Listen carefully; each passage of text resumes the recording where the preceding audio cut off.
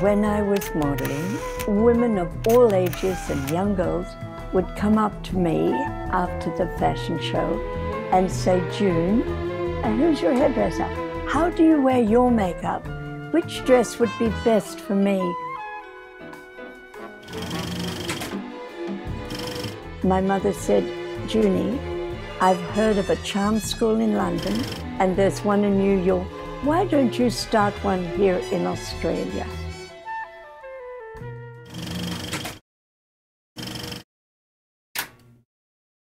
Because I'm 25.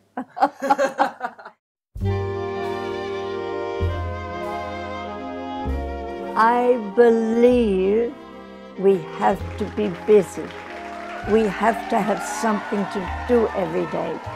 If I didn't work, what would I do?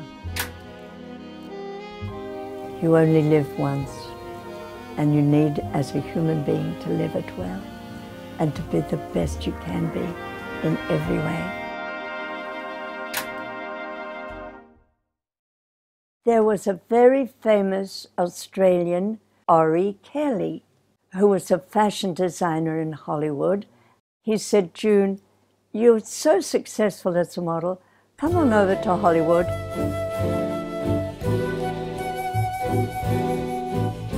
By this time, I'd met so many Hollywood movie stars, and they were so real.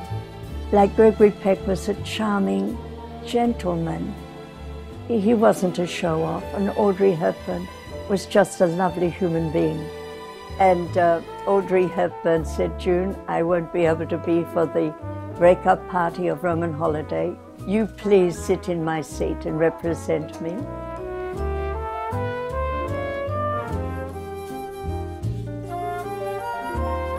But then when Greg suggested I stay in Los Angeles, I realized I, I really had to go back to Australia to my mother.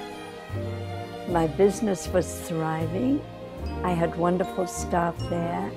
And I realized it, my mother had given up her life for me. An illegitimate child meant that my father deserted my mother. And therefore, I moved to live with my grandparents. Penguin Publishing, that worldwide publishing company, said to me, We'd like you to write a book about all the models in your early days of modeling. So I sat down and started to write about the other models. And I realized I had to write about myself. And I started to write a little bit about myself. And um, when Penguin Publishing saw my notes, they said, June, forget the other models. You just write a book about your life. And so I did.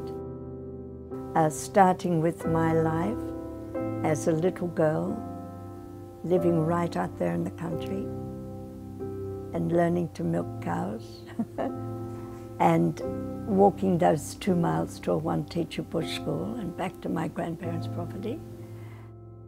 See, there was one teacher, and one day I heard him say to my mother, You know, June is going to be a failure in life.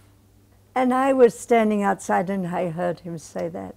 And he said, All she does is sit and look out the window all day and daydream. And that's what I want to say to young people now. Don't be all the time on their mobile phone. Sit, look out of the bus window. Sit and look out of the train window. Sit and think. And when they're walking across the street, look at other people and smile. And think and dream and imagine